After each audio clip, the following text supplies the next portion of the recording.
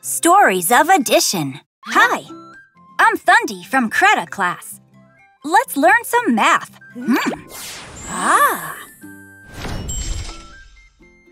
Three little birds were in the tree.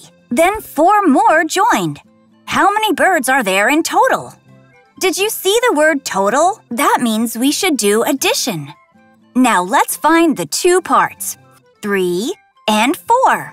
The equation is 3 plus 4 equals 7. In problems that ask for the total, remember to do addition.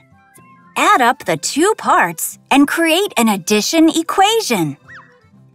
When telling a story based on an equation, the plus sign means to add more and the word total means the sum.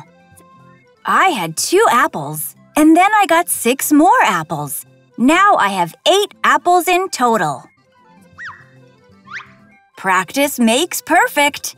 See you next time. Tap the link below to get 99 rupees math lesson.